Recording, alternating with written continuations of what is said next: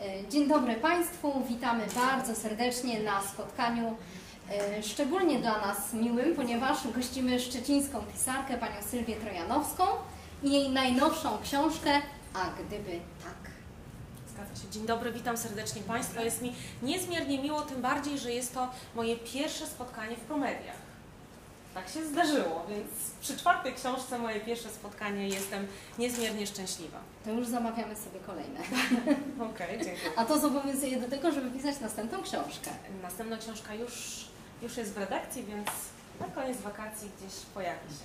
Tak, dostali Państwo tutaj od autorki bezpłatne gazetki do przeczytania e, związane z, z literaturą, e, foldery.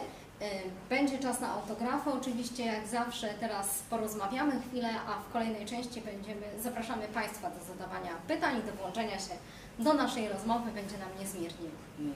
Oczywiście ja czekam w szczególności na te pytania, drodzy Państwo. Ja wierzę, że zasypiecie mnie pytaniami. Z radością, jeśli będę tylko potrafiła, to odpowiem na wszystkie. Zaczęłyśmy rozmawiać tak trochę o czytelnictwie, bo drodzy Państwo, dzisiaj się tak naprawdę y, jutro, ale już dzisiaj y, pierwsze wydarzenia są, rozpoczął się coroczny Tydzień Bibliotek. Y, I Tydzień Bibliotek to nie jest święto tylko bibliotekarzy, ale święto przede wszystkim Państwa, czytelników, święto pisarzy, tych wszystkich, którzy popularyzują literaturę i czytelnictwo. A wiem, że Pani bardzo lubi uczestniczyć w spotkaniach autorskich, Zgadza się. E, dlatego, dlatego nawiązałam do tego tygodnia i do spotkań, bo właśnie Tydzień Bibliotek to czas spotkań z autorami, rozmów, bezpośredniego obcowania, co jest szczególnie cenne, bo można zapytać o to, o co by się chciało zapytać wtedy, kiedy czytamy książkę, kiedy nasuwają nam się jakieś wątpliwości, dylematy, rozterki, cokolwiek. E, Proszę powiedzieć, co jest takiego niesamowitego, tak jak Pani zaznacza w tych spotkaniach właśnie z czytelnikami? Co jest niesamowitego w spotkaniach z czytelnikami, to przede wszystkim to, że przychodzą czytelnicy, że przychodzą osoby, które albo znają e, moje powieści, znają moje pisanie, albo też e, są zaciekawieni moją osobą i przymierzają się do tego, żeby zacząć czytać to, co ja napisałam. E, W trakcie takich spotkań, to już jedną miałam taką bardzo ciepłą rozmowę z panią. E, Pani powiedziała, że zna moje wcześniejsze trzy powieści, przeczytała je bardzo szybko, e, na jednym wdechu niemalże i z niecierpliwością czekała na kolejną powieść. Więc takie sygnały od czytelników to jest, drodzy Państwo, motor do tego dla pisarza, żeby pisać, żeby angażować się w to całym sobą, bo też o to chodzi. Powieść jest wtedy wiarygodna dla mnie, według mnie, jeżeli ja angażuję się całą sobą. A mm, akurat jeśli chodzi o mnie, ja właśnie tak piszę. A to czekanie na komunikat zwrotny od czytelnika. Tak, w trakcie spotkań autorskich to jest e, no, taka unikal, unikalny, unikalna okazja do tego, żeby twarzą w twarz spojrzeć czytelnikowi, y, no, y, spotkać się z czytelnikiem twarzą w twarz, spojrzeć mu prosto w oczy. Dostaję bardzo wiele też komunikatów wirtualnych.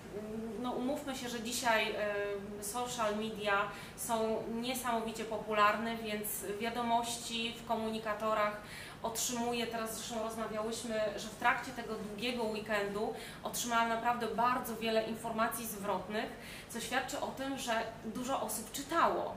Miało jednak urlopy i miało czas na to, żeby y, czytać i też zechciało się podzielić ze mną y, wrażeniami po czytaniu mojej najnowszej powieści. Chętnie zadają y, czytelnicy pytania. Y, Przeglądałam, przeglądałam Mhm. y, portal z recenzjami, y, gdzie, gdzie właśnie y, bardzo były takie entuzjastyczne y, wypowiedzi na temat książek, y, Pani książek, więc y, czy, czy zdarza się też tak, że czytelnicy właśnie na Facebooku piszą do Pani, y, czy jakieś maile wysyłają, bo Oczywiście, Pani że tak. stronę można znaleźć w internecie. To nie jest tak, że pisze Pani pod pseudonimem, jest niedostępna, nie wiadomo kim Pani jest. Nie, nie, E, Sylwia Trojanowska to tak. ja, to jest moje imię i nazwisko, to nie jest mój pseudonim. E, I rzeczywiście bardzo łatwo mnie znaleźć, jest czy na Facebooku, czy na Instagramie, czy moją stronę internetową można znaleźć bez problemu. I na każde zadane pytanie staram się odpowiedzieć. Każdą podjętą rozmowę staram się y, tutaj kontynuować. Nie pozostawiam czytelnika bez odpowiedzi.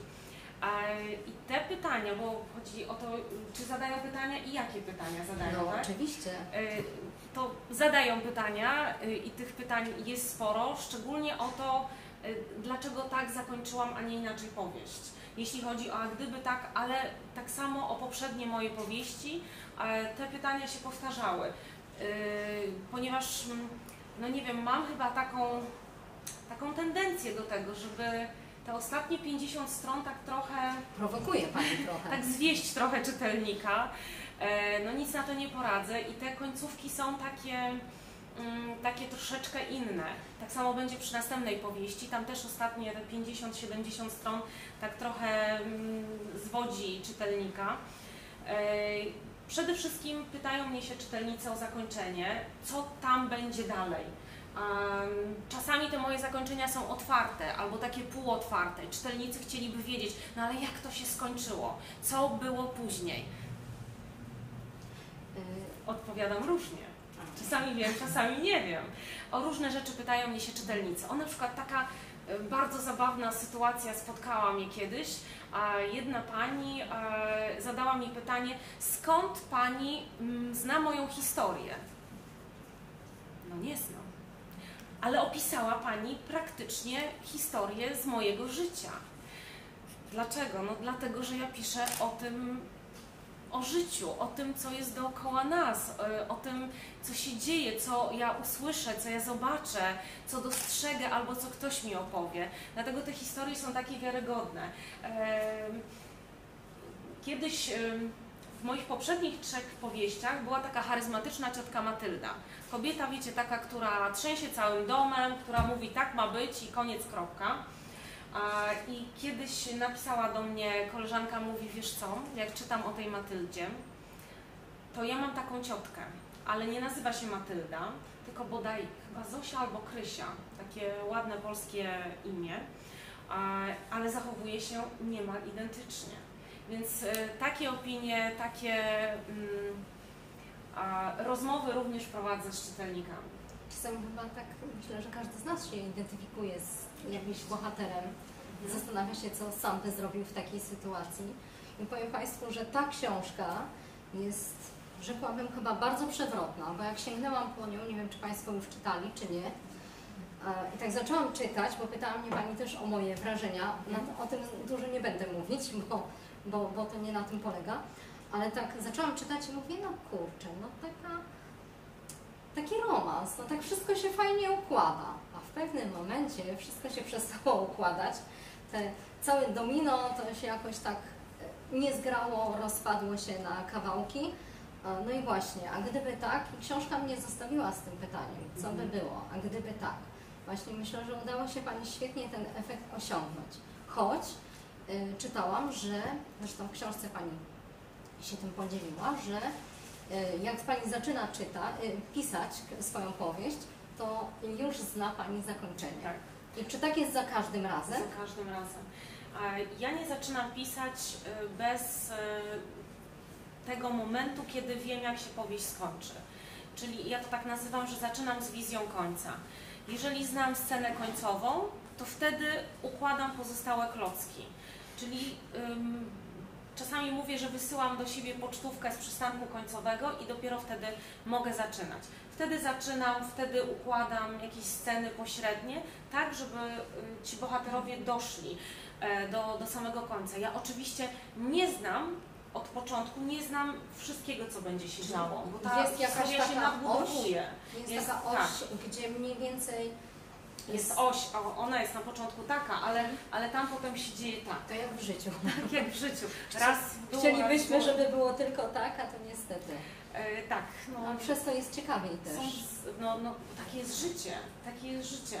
Czasami znajdujemy się na dnie i potem trzeba e, wziąć e, całą siłę, którą mamy w sobie i po prostu odbić się, żeby wyskoczyć w górę. No bo tak po prostu w życiu jest. Raz jest na dole, raz jest na górze. Chcielibyśmy, żeby ta góra była jak najdłużej i żeby to słońce świeciło cały czas, no ale niestety czasami pada deszcz. No nie korciło Pani, żeby zmienić to zakończenie? Ono takie przyszło. Ja się, mm, mm, ja się poddaję historii. E, Nie walczę z historią. Nawet czasami, jak próbuję coś nagiąć, próbuję bohaterom coś innego zrobić, to często mam takie odczucie, że oni nie zgadzają się ze mną. Że nie idzie mi pisanie, muszę odpocząć, muszę wyjść, nabrać powietrza i dopiero później e, siadam i ci bohaterowie jak gdyby do mnie mówią, co ja powinnam napisać. Oni żyją swoim własnym życiem. Ja nie boję się tego powiedzieć. To jest trochę abstrakcyjne, ale jak ktoś e, zaczyna pisać, jak ktoś zaczyna pisać powieść, to naprawdę zrozumie, e, o czym ja mówię. Bohaterowie czasami nie chcą czegoś zrobić. Dla mnie te Pani postaci są w ogóle takie e, bardzo charakterystyczne e, i nie wiem, szczególnie na przykład w tej, w tej powieści e, Alina. Okej. Bardzo taka dynamiczna, konkretna. Ja po prostu czytając książkę widziałam, widziałam ją przed sobą, tak? I też, bo historia, historia Alina, czyli przyjaciółka głównej przyjaciółka bohaterki. głównej bohaterki Zuzy, kolejną Dziewczyna, wiecie, taka Agnieszka. Mocną ręką. Tak, wie czego chce w życiu, mówiąca Tak. prosto z mostu, wszystko innym. E, czasami tego zazdrościłam, a czasami nie. E, Zuza z kolei zupełnie inna, bo bardziej taka romantyczna i mm, chociaż po przejściach i też myślę, że w jakiś sposób wiedząca, tylko że troszkę inaczej wiedząca, czego chce w życiu. Zupełnie, Mhm. zupełnie inna. Agnieszka, dziewczyna po przejściach z rodziny y, takiej, a nie innej, która też tam gdzieś odcisnęła piętno na jej życiu, na tym, w jaki sposób buduje relacje z innymi. Więc tak naprawdę dziewczyny z zupełnie innej bajki, ale prawdziwe przyjaciółki, trzymające się razem i wspierające się. Każda z nich inna tak naprawdę. Ja gdzieś tam właśnie czytając, od razu wśród moich znajomych szukałam właśnie tych, a nie innych postaci. Mhm. I, I mam wrażenie, że, że, że właśnie bardzo mocno je Pani y, gdzieś właśnie w swojej, nie wiem, czy wyobraźni wcześniej je wymodelowała. Y, I, i, I gdzieś tam osadziła w tych realiach, każda z nich gdzieś tam się y, pojawia w odpowiednim momencie książki. Strasznie ciężko jest o tej książce rozmawiać, bo ona jest niesamowicie zaskakująca. I bardzo muszę się pilnować, żeby nie zdradzić tutaj puenty. Także jak ktoś lubi podglądać końcówki, to tutaj nie Tak, radzę. nie, nie, nie, to nie, nie, nie, potem straci się całą przyjemność czytania tak naprawdę. Y, Tak, bo tu nic nie jest oczywiste y, do pewnego momentu. No właśnie. Wydaje nam się, że wszystko tak jak Tak. Pani powiedziała, że to jest takie lekkie, łatwe i przyjemne, a w pewnym momencie okazuje się, że tajemnica z przeszłości może sprawić no, psikusa, że Y. tak powiem. Czasami tak jest. Ojej, aż się boję mówić, że to psikus, bo to No, bardzo dużo poważnych decyzji Tak. i bardzo dużo Tak. osób tak naprawdę powiązanych ze sobą. mhm. Y, I, i, I tu się też rodzi pytanie takie, na ile y, powinniśmy o pewnych rzeczach w naszym życiu y, rozmawiać szczerze. Mhm. Mm, chociażby o kwestiach właśnie takich, e, bo tutaj były poruszone kwestie jakichś romansów, ale na przykład są kwestie dotyczące adopcji, jakieś takie, takie skrywane sekrety, o których nikt nie wie i które mają szansę czasem wyjść na wierzch. Właśnie to nie zawsze jest takie proste, czy, czy, czy powiedzieć prawdę, czy nie powiedzieć. Mhm. No to jest. To jest pytanie, to jest bardzo dobre pytanie, czy powiedzieć tę prawdę, czy jej nie mówić. E, tutaj em, sam tytuł powieści e, nasuwa już pewne zastanowienie. E, a gdyby tak powiedzieć prawdę, Mhm. bądź nie, a gdyby tak spróbować być szczęśliwym, bo tutaj e, mm, wspomniała Pani, że to jest romans na początku, bo rzeczywiście jest tutaj e, dosyć rozbudowana relacja damsko-męska, e, jest Zuzanna, jest Aleksander i e, gdyby tak dać sobie szansę na szczęście, na Wtedy, miłość, mieli, byli na studiach 15 jeszcze, lat, tak? tak? Czy, tak, czy 19, czy później na studiach. A gdyby tak cofnąć czas, no można sobie tutaj gdybać e, na wiele sposobów. E, można zadawać sobie pytania. E, można zadać sobie to pytanie, które jest na okładce. Czy, nasz, czy może nas zaskoczyć nasza własna przeszłość? To jest właśnie też to, o czym Pani mówiła. Czy mówić sobie o wszystkim, co było gdzieś tam kiedyś w przeszłości. Czasami myślimy, że już coś nie wróci, że to już zamknęliśmy do jakieś tam szuflady, A odłożyliśmy na zawsze, Mhm. a tu się okazuje, że w najmniej oczekiwanym momencie ta przeszłość do nas wraca. Ale to myślę, że to chyba każdy z nas musi sam podjąć taką decyzję. Myślę, że tak. Myślę, że tak. No tutaj, mm, tutaj jest dosyć skomplikowana sytuacja, jeśli chodzi o książkę. No, mm, tak jak y, Pani mówi, y, Pani Aniu, że nie można za wiele powiedzieć, bo byśmy zdradzili Państwu całą fabułę i przyjemność czytania, gdybyśmy powiedzieli, o jaki sekret z przeszłości chodzi i cóż takiego się wydarzyło, że y, zmieniło po trosze bieg tej powieści. Natomiast no, jest rzeczywiście pewien sekret z przeszłości, który no, dosyć takim, dosyć taki mocny sposób zaburza y, życia kilku rodzin. Myślę, że to tak każdemu się może przytrafić. Myślę, że tak. Myślę, że te sekrety, e, sekrety i Mhm. kłamstwa. No właśnie, drodzy Państwo, następna moja powieść ma roboczy tytuł Sekrety i kłamstwa. Jak tak Pani mówi o tych sekretach, że, że, że ja coś rzeczywiście mam do tych sekretów, że mnie ciągnie do tych sekretów i kłamstw, bo te sekrety, one są takie trochę kuszące, takie, szczególnie jak czytamy o nich w książkach. A potem zastanawiamy się, czy w naszym życiu też są takie właśnie sekrety. Co tam może być ukrytego? Jest Pani na co dzień e, trenerem, coachem. E, W jaki sposób właśnie e, e, radzi Pani swoim klientom, chyba tak powiedzieć, Tak. prawda? E, W jaki sposób rozwiązywać problemy albo jak działać, e, żeby, żeby tych problemów jak najmniej było, jak sobie radzić z, ze stresem też, tak? W relacjach. Mhm. Zależy o, jakim, o jakich problemach mówimy, bo e, to trzeba by było na pewno różnicować. E, jeżeli mówimy o stresie, e, co robić? Nie, a co Państwo robicie, żeby się nie stresować? Nic. Czytacie? Nic. Nie, nic nie robienie. Nic nie robienie to też jest, to też jest jest coś metoda. dobrego. Jest Tak, To jest metoda. A coś jeszcze, jakieś propozycje? Mówimy prawdę i a propos tej prawdy, jeżeli Pani nie przedstawia zakończenia, zakończenie się rozmywa, to proszę mi powiedzieć, w którym miejscu jest koniec, skoro Pani już wcześniej zna zakończenie. Tam jest w ogóle koniec. Jest, jest koniec. Jest koniec. Jest koniec, który... y, znaczy, ja nie chcę zdradzać zakończenia. Ja, Nie, ja, nie, ale czy jest w ogóle koniec? Bo Jest z tego koniec. wynika, że jak się rozmywa, to nie ma Nie. e, e, końca. Jest I się bardzo nazywa- konkretny Czy koniec. te książki to jest serial? Pytanie? Nie, nie, nie, No to jest jednotomowa to- opowieść. Ja Jednotomowa rozumiem, opowieść. jest, przepraszam, jest. Tak. Pamięta pan ten? Do ale- dzisiaj nie wiemy o co tam chodziło. Ale wszyscy oglądamy, tak? Ale piękne i rozważne te filmy, co są z tych dawnych, no bardzo ładne są. Mhm. No i tu tak właśnie się tam doszukiwałem na początku, ale później stwierdziłem, y, autorką jest kobieta, czyli tak wiadomo. Czyli, ale dlaczego? Ale co wiadomo? Ale co wiadomo? No Proszę. to trochę powiedzmy nieścisłości, trochę ścisłości, Mhm. żeby zawsze móc wybrnąć nie, z jakiejś tam y, takiej sytuacji. Mhm. Dlatego ja zwolennikiem jestem albo biografii, a Okej. kryminał fajnie jest przeczytać na końcu, a później się zastanowić dlaczego to czytając od początku, bo dlaczego tak, Czyli a od końca pan zaczyna Na czytanie przykład na kryminału? końcu, tak, tak, tak, to jest fajne. Ciekawa No metoda. a, a biografię to można wtedy sobie tak uzmysłowić ten człowiek kim był. E, e, Bo ja rozumiem, że każdy się realizuje przez coś. Pani akurat przez książkę w jakiś sposób. I to są jakieś fantazje, jakieś e, dopowiedziane, jakieś historie, gdzieś tam usłyszane. Czyli właściwie dopiero 20-30 książka będzie jakaś bardziej dojrzała. Może, może przepraszam, że tak powiem, ale, ale tego bym się spodziewał, jeżeli się koniec rozmywa. Nie, nie, właśnie drodzy Państwo, to jest, to jest problem chyba troszkę w prowadzeniu y, tej rozmowy o, o samej książce, dlatego przejdziemy też do innych y, spraw, Ale ponieważ ciekawe pytanie Pan zadał, bo y, być może tutaj też y, nie, nie jest to skonkretyzowane o co chodzi z końcem. Koniec, y,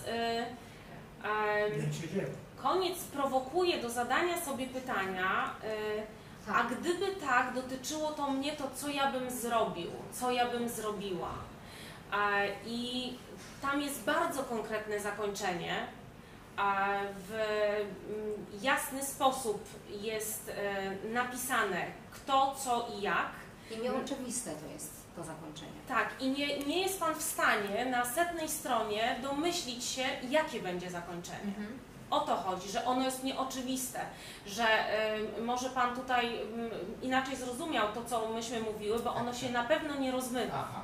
Ono nie jest rozmyte tak, że go nie ma. Ono jest zrozumiałem. bardzo jasne, jest cięcie, e, jest zakończenie mm, takie konkretne, z którym nie wszyscy też się godzą, bo niektórzy woleliby może inne zakończenie.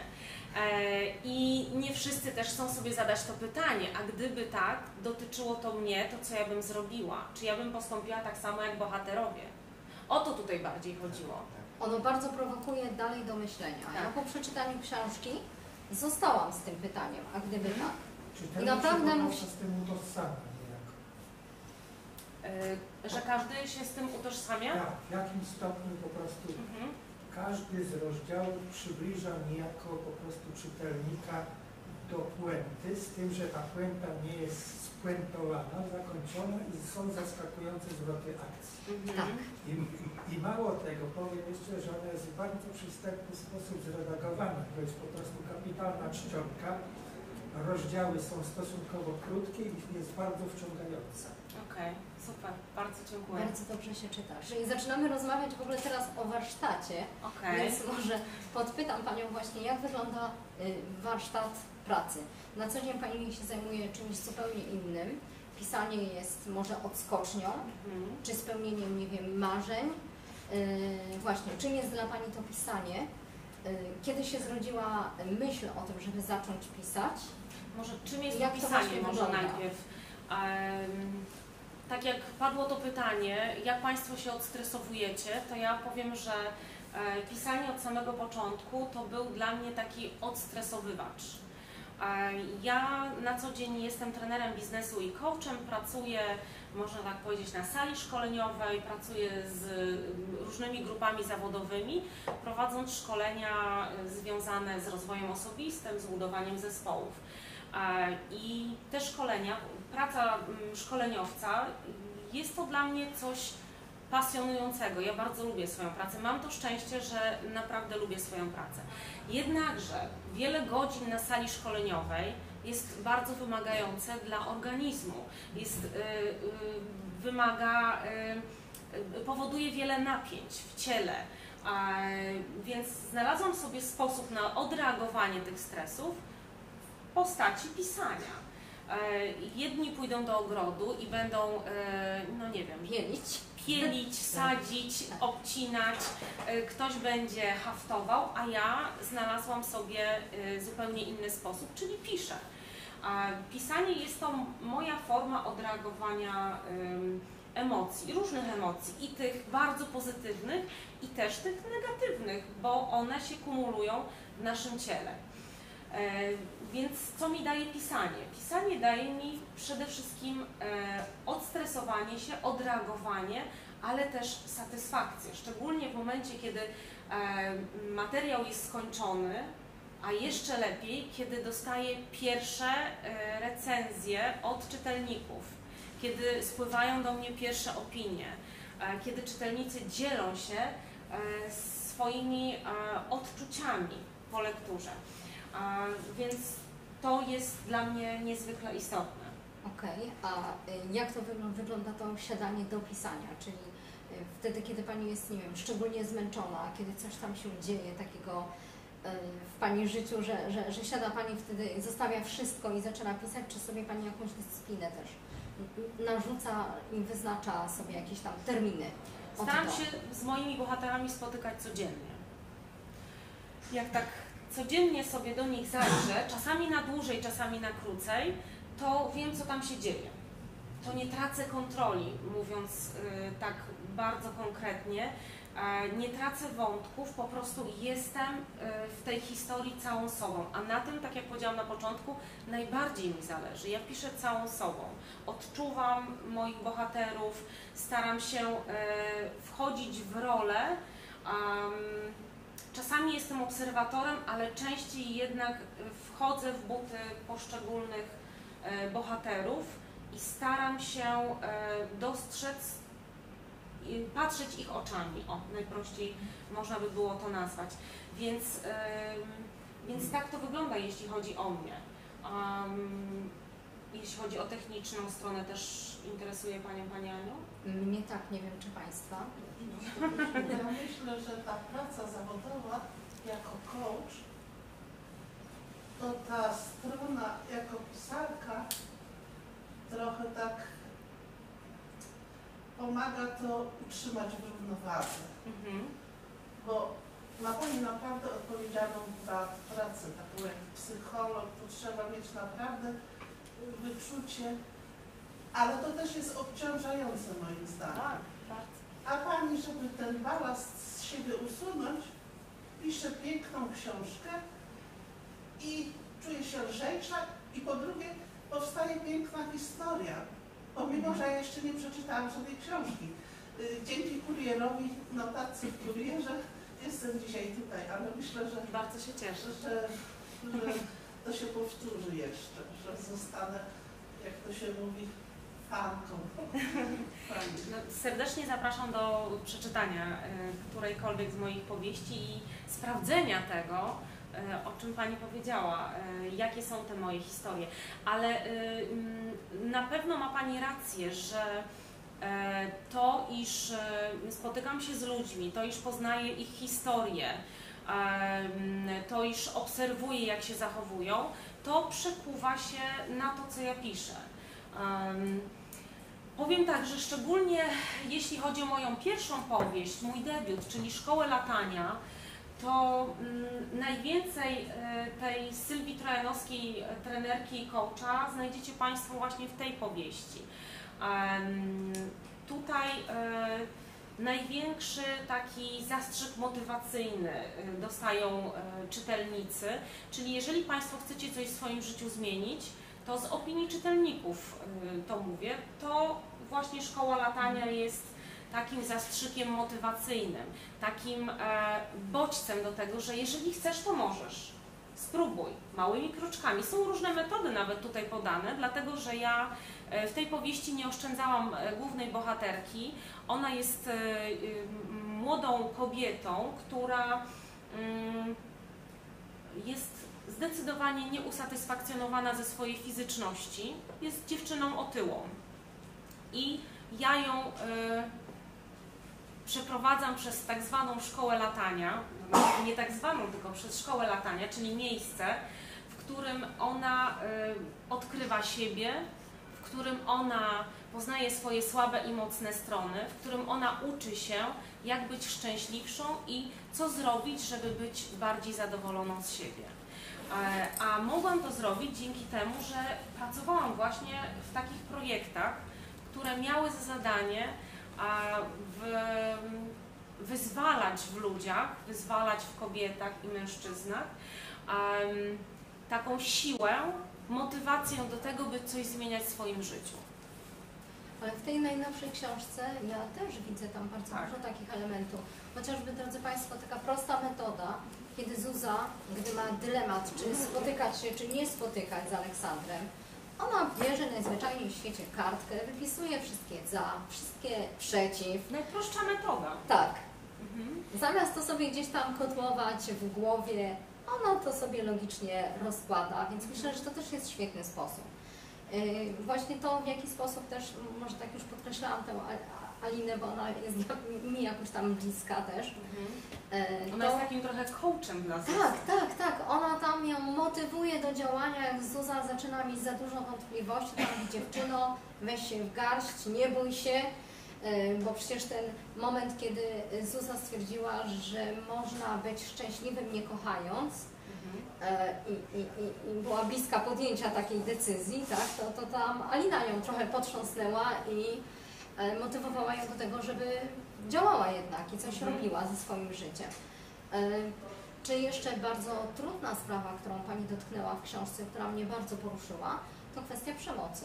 Mhm. Przemocy seksualnej, przemocy fizycznej, psychicznej e, wobec Agnieszki. Mhm. E, To, to taki, myślę, że to jest e, bardzo trudny wątek, bardzo ważny rozdział. Mhm.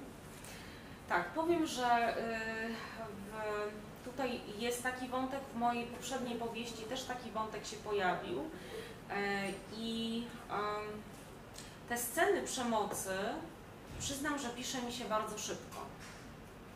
To, jest, to było dla mnie bardzo zaskakujące. Oczywiście ja to mocno przeżywam, bo one są naprawdę nieprzyjemne, ale uważam, że są bardzo ważne, dlatego że y, no jednak takie sytuacje zdarzają się w życiu, a ja piszę o tym, co dzieje się w życiu. Nie zawsze o tym potrafimy też Nie rozmawiać. zawsze chcemy. Nie zawsze chcemy, Mhm. nie sygnalizujemy. I tutaj Dokładnie. przedstawiła Pani, też nie powiemy w jaki sposób, ale rozwiązania tej sprawy. I ja powiem, że to nie było takie oczywiste dla mnie. Mhm.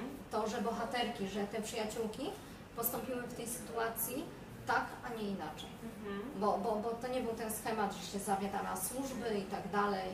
E, To, to o czym się dużo mówi. To było Przyznam, że w taki sposób, jak postąpiły moje, e, moje bohaterki, bardzo często się postępuje. Naprawdę bardzo często się postępuje. E, Drodzy Państwo, ja pracując z, szczególnie w, indywidualnej praktyce, e, w praktyce coachingowej, no naprawdę często spotykam się z opowieściami klientów właśnie dotyczącymi e, czy molestowania, czy przemocy domowej. To, to naprawdę nie jest rzadki temat. To, to, to, to są czasami takie wstrząsające opowieści, e, które mm, gdzieś zostawiają we mnie taki groszek takiego żalu, że taka jest ta nasza rzeczywistość, ale y, ten groszek żalu staram się potem wrzucać do tych swoich książek, żeby też e, nim się podzielić z Wami, ale też pozbyć się go chyba z siebie. To jest taki też upust tych emocji, które gdzieś we mnie są.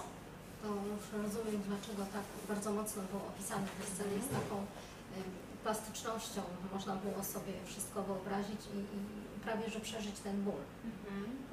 Przynajmniej taki miałam. No to cieszę się, że tak to jest odbierane. No.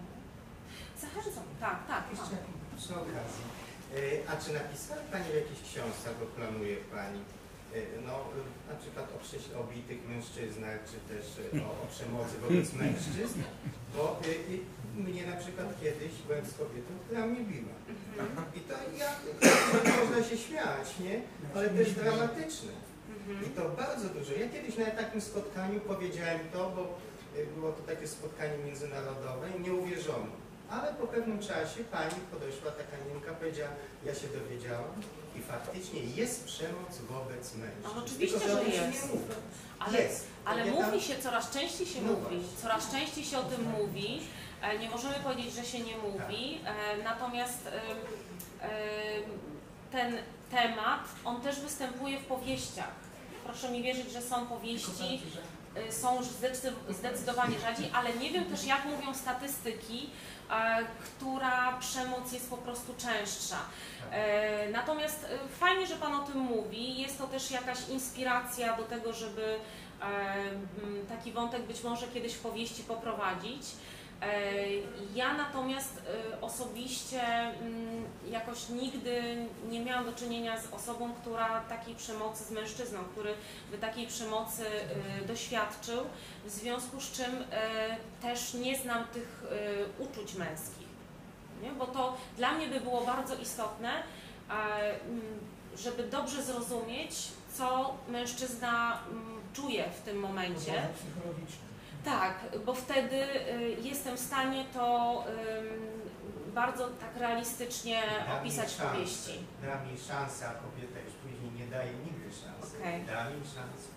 Może się zmieni, da mi szansę. Nie, Okej. kobieta od razu przekreśla, pisze na kartce co za, co przeciw, do widzenia. I Okej. kupuje psa. Znaczy to też są pewne uproszczenia, które tak Pan. Tak, to są pewne uproszczenia, które Pan tutaj stosuje. E, oczywiście tak nie jest zawsze.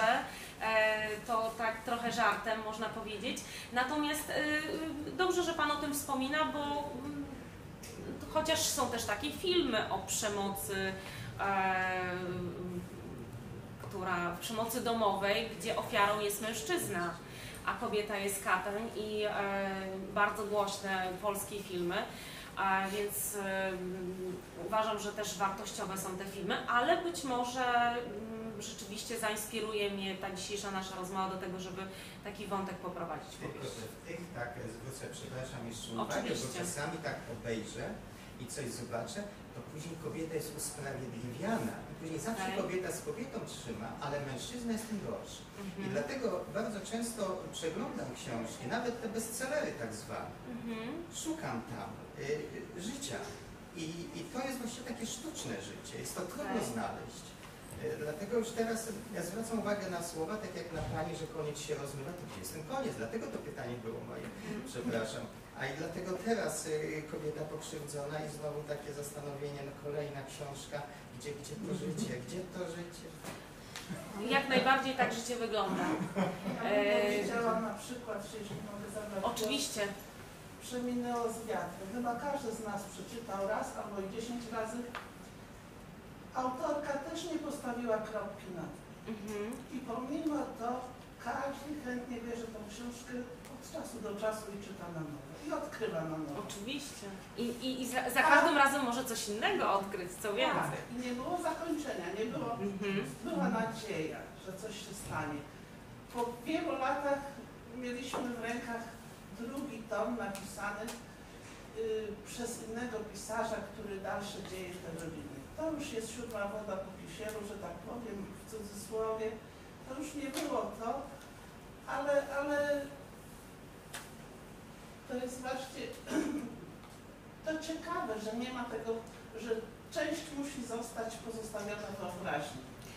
Część musi zostać pozostawiona. Jeśli z tym pisaniem się podoba, to będziemy wracać i będziemy. Oczywiście, ale powiem też, że nawet jeżeli zakończenie jest takie, że możemy spodziewać się, jak się skończy i patrzymy, rzeczywiście tak się kończy, to y, część czytelników i tak, nawet jeżeli y, zakończenie jest X, YZ, to część czytelników znajdzie y, sobie coś innego, wyczuje coś innego, dostrzeże coś nowego, bo jesteśmy różni. Jeden czytelnik dostrzeże to, drugi czytelnik dostrzeże coś innego. E, Inaczej zinterpretuje słowa, tak samo jak Pan tutaj inaczej zinterpretował nasze słowa. Mamy do tego prawo. I fajnie, że Pan o tym mówi, naprawdę. To jest, Prawda? Ale to jest- to jest bardzo, bardzo ciekawe spostrzeżenie. To jest ciekawe spostrzeżenie. Okej. Czasami się identyfikujemy właśnie z... Dlaczego identyfikujemy się z tym albo z innym bohaterem bardziej? Czy Mhm. Ale ja myślę, że, najważniejszym? że książka Tak. jest po to, żebyśmy odnaleźli również siebie. Oczywiście, Albo to co Pani powiedziała przed chwileczką. Więc żeby tam znaleźć siebie, to, no, to jest trudno trafić jako osoba pisząca, pisząca do wszystkich. Mhm. Zawsze będzie jakaś grupka. Nie da się. E, tak, ale i, i, i, czy no, problem jest chyba też Pani ma taki tam problem twórczy, czy dać książkę w sensie e, e, ludziom do, do odpoczynku, żeby się przyjemnie to czytało, spokojnie i tak, czy też książka wydumana bardziej do zastanowienia i poszukania Mhm. siebie, czy motywów trochę kryminału, nie? No właśnie, to. Państwo sami ocenią po lekturze, czy to jest książka do odpoczynku, czy, e, czy, czy, czy nie. Ja już po, po lekturze to, to, to mam swoje, e, swoje spostrzeżenia i swoje emocje. Mhm. E, I i tak jak mówiłam, że rozumiem doskonale ten tytuł. Gdzieś tam Mhm. to pozostało, ale myślę, że to jest chyba bardziej cenne, jeśli czytamy książkę e, i ta książka nas pozostawia, pozostawia coś po sobie. To nie jest tak, że ją przeczytaliśmy, odłożyliśmy i sięgamy po następną, tak? To tak jak po obejrzeniu dobrego filmu y, wychodzimy z kina i chcemy pobyć sami i to wszystko sobie w głowie poukładać, tak samo po przeczytaniu dobrej książki. Tak, no bo to rezonuje jeszcze, to pozostawia jakieś pytania, y, my się zastanawiamy, co my byśmy zrobili, y, dlaczego któryś bohater w taki sposób, a nie inny postąpił, czy ja bym zrobił inaczej, a, a gdyby mi się coś takiego przytrafiło, jakby moje życie się potoczyło, i tak dalej, i tak dalej. Y, No, cieszę się, że moje powieści nie pozostawiają czytelnika obojętnym, że czytelnicy y, mają właśnie przemyślenia, tak jak Pani, Pani Anita powiedziała, iż e, gdzieś coś zostało, co mm, kazało Pani e, pomyśleć nad tą powieścią, bo e, jest tam sporo takich no, znaków zapytania, które będą nas prowokowały do zastanowienia się nad własnym życiem. Ja tak myślę. Tam było pytanie. Tak, czy adresuje Pani swoje powieści do jakiegoś określonego kręgu czytelników? Y, mm, Jeżeli chodzi o moje powieści, to są powieści obyczajowe i kieruję je do osób, które lubią powieści obyczajowe. Po prostu. Powieści, w których jest dużo rozważań na temat emocji. Tam jest dużo emocji. Tam jest też we wszystkich moich powieściach znajdziecie Państwo rozbudowany wątek i miłości, i przyjaźni. I cóż mogę powiedzieć? To są powieści napisane, niektórzy mówią w lekki sposób, o bardzo trudnych sprawach. Czasami naprawdę bardzo trudnych sprawach.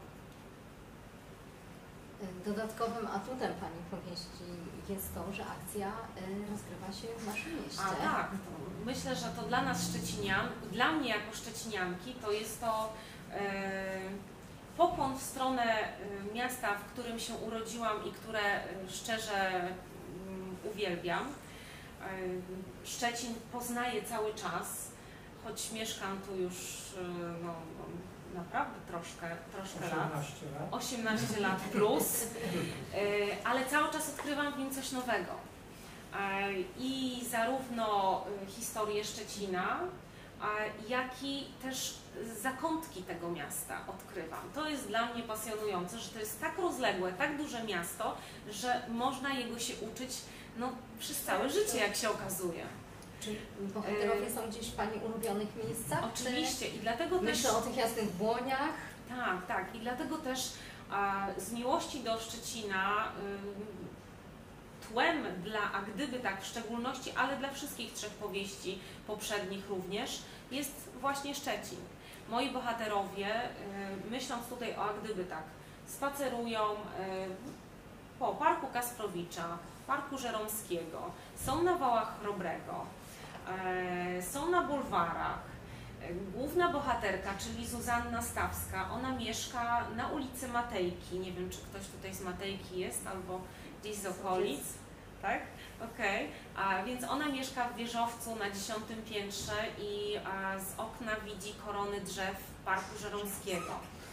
E, Widzi e, przejeżdżające tramwaje. Dla niej e, okno i możliwość em, spojrzenia przez to okno, wyjrzenia przez nie jest e, też bardzo istotne dla fabuły. Ona w ten sposób po prostu odreagowuje jakieś e, stresy, ale też mm, rozważa pewne decyzje właśnie w ten sposób. Mm, Szczecin jest dla mnie bardzo istotny, ale nie zmienia to faktu, że w Agdyby, tak, też y, mm, odnajdziecie Państwo inne miejscowości. Jest Stargard. Bohaterowie pojawiają się w Stargardzie i ostatnio będąc na spotkaniu autorskim w Stargardzie, e, też panie, które czytały e, już powieść, no, były zachwycone tym, że Stargard właśnie tam się znalazł. Znalazła się tam ulica też Jesionowa ze Stargardu i powiem Państwu, że e, dostałam e, taką sympatyczną wiadomość od koleżanki, Stargardzianki, która napisała do mnie, ty mi powiedz, w którym domu oni byli na tej Jesionowej, bo ja całe swoje dzieciństwo spędziłam na Jesionowej i chcę wiedzieć, gdzie to było. Więc ja do niej odpowiedziałam, no nie, nie pamiętam numeru, ale to był biały dom y, jednopiętrowy. No mówi, ty koniecznie sprawdź, który to był dom, bo tam są tylko dwa białe domy. E, więc ja szybciutko włączyłam sobie internet, y, zrobiłam jej screena i wysłałam, bo y, ona mm, dalej prowadziła tą, tę rozmowę ze mną. E, dlatego, że ta ulica Jesionowa jest o tyle istotna, tutaj wiele nie zdradzę, to jest pewien epizod. W tym domu jest małżeństwo, które mm, adoptowało dziecko.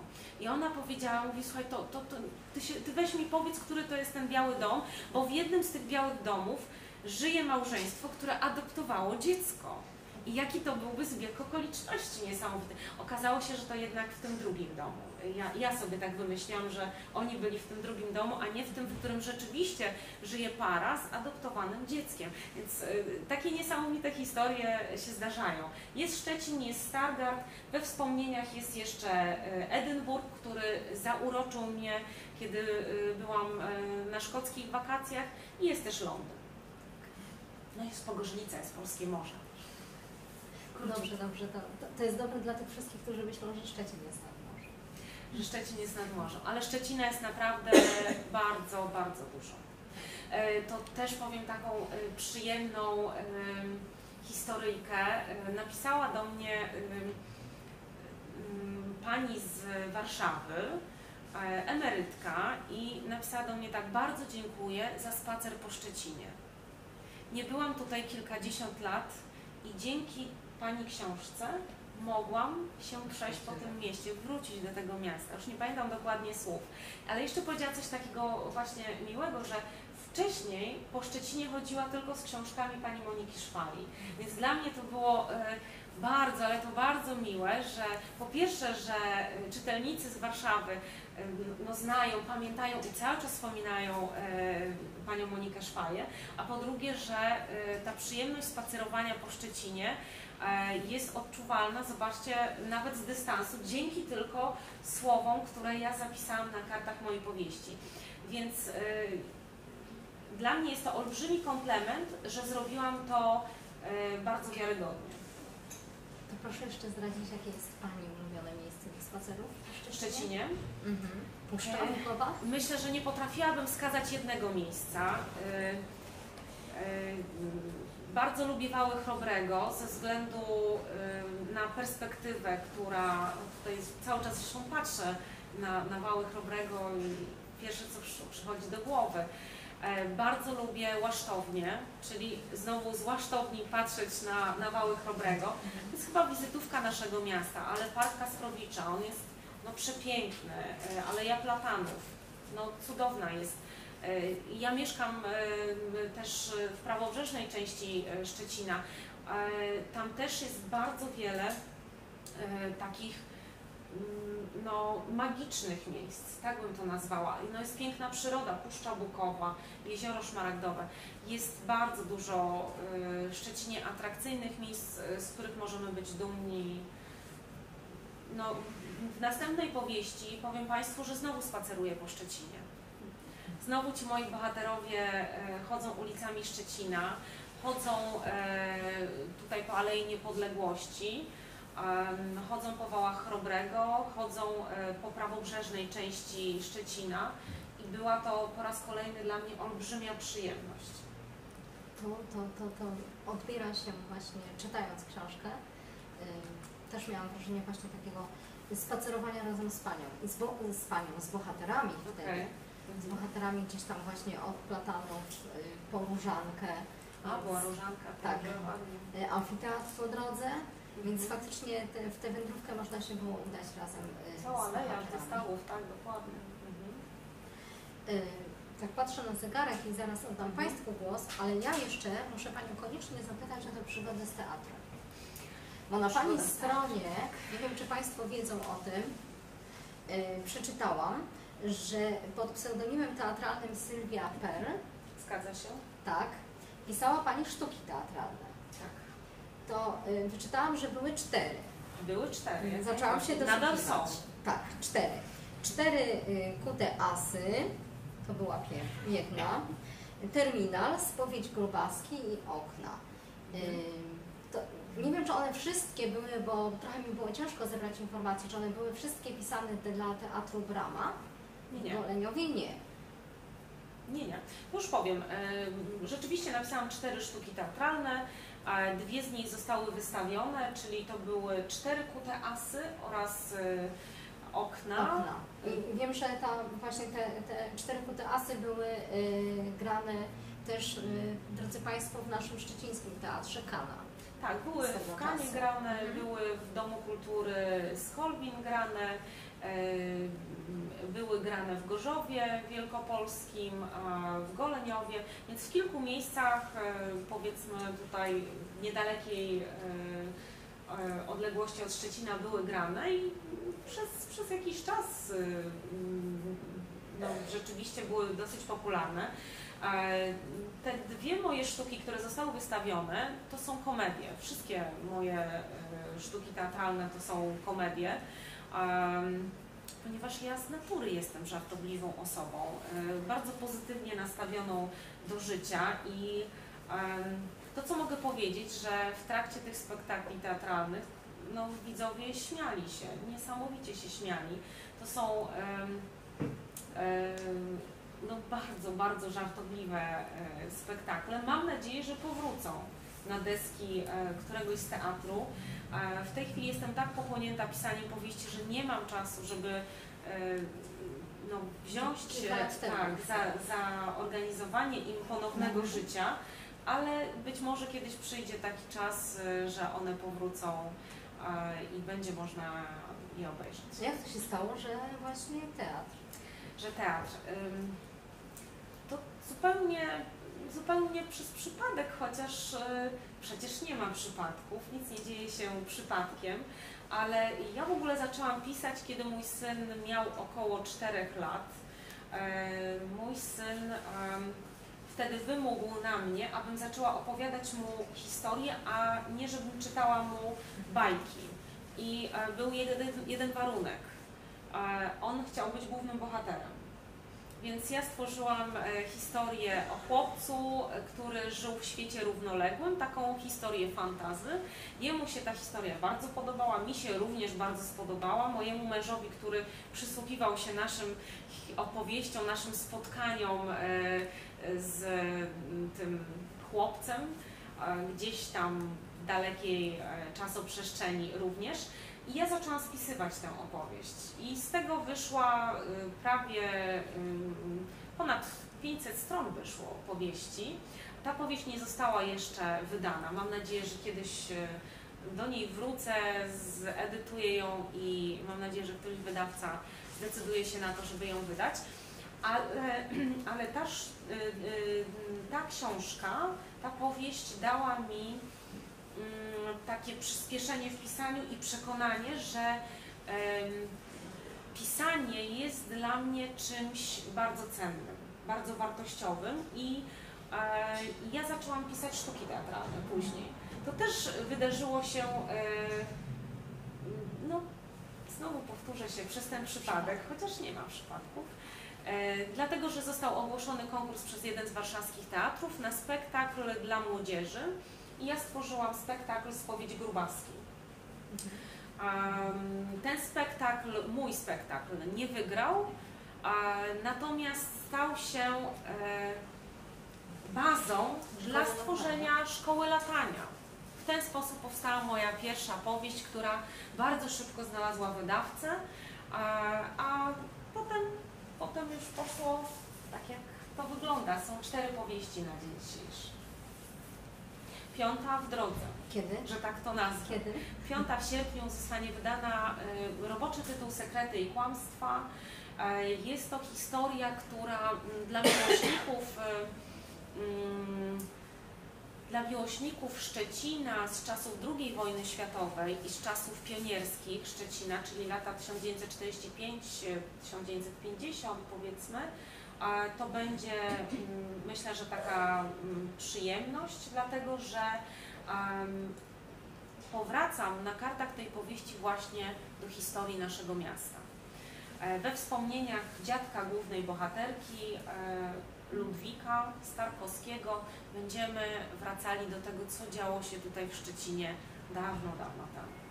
Mam nadzieję, że to będzie, będzie ciekawe. Pierwsi czytelnicy no bardzo, ale to bardzo pochlebnie e, wysławiali się o moje powieści, więc mam nadzieję, że i e, szerokiemu gronu czytelników też się spodoba.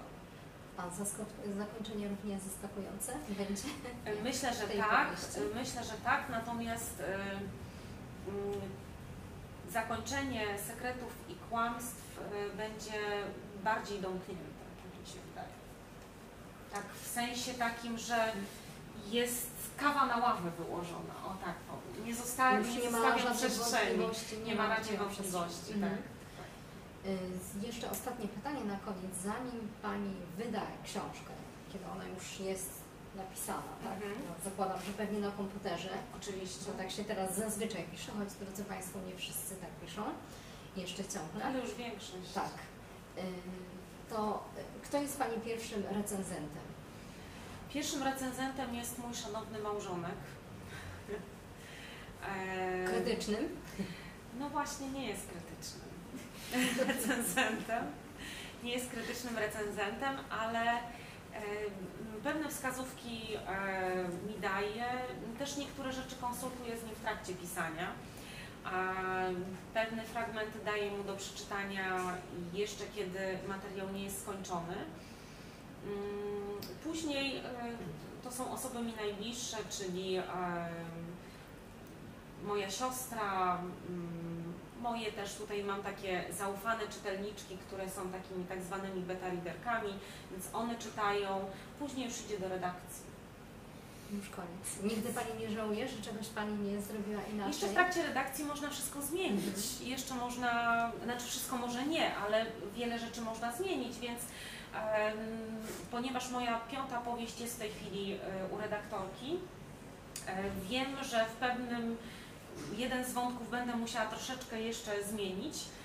Em, Kiedy tekst do mnie wróci, wtedy będę te zmiany nanosiła. Mam to zapisane, wiem, co chcę zmienić, ale mm, to nie zmienia jak gdyby kształtu powieści, nie zmienia puenty, y, nie zmienia jak gdyby takiej fabuły, ale pewien jeden taki drobniejszy wątek muszę po prostu zmienić. Tak to czuję. To czekamy w takim razie na tę nową powieść. Mam nadzieję, że się spotkamy ponownie. Y, A ja teraz oddam już Państwu głos. Proszę śmiało zadawać pytania, bo to jest y, Jeśli jeden niepowtarzalny jakieś- moment, kiedy właśnie można autorkę zapytać. Prosimy tylko nie krzyczeć, dlaczego się stało tak, a nie inaczej, bo pretensje też czasami pewnie są, ale śmiało proszę pytać. Ja słyszałam taka mm, największa pretensja, to no czuję niedosyt. Ja chcę drugi tom, chcę więcej, chcę kontynuacji. Już E, nie wytrzymałabym więcej. To tyle było zwrotów akcji. Tak. Ym, tak, to, to, to W tak życiu bohaterów, podsumować tak. w życiu bohaterów. Drodzy Państwo, jakieś pytania? Czuję, że są. Zawsze jest najtrudniejsze to pierwsze. Pan Antoni ma pytanie. Tak, czy ten wątek miłosny będzie kontynuowany i relacje damsko-męskie między Zuzią a y, Olkiem Baczyńskim?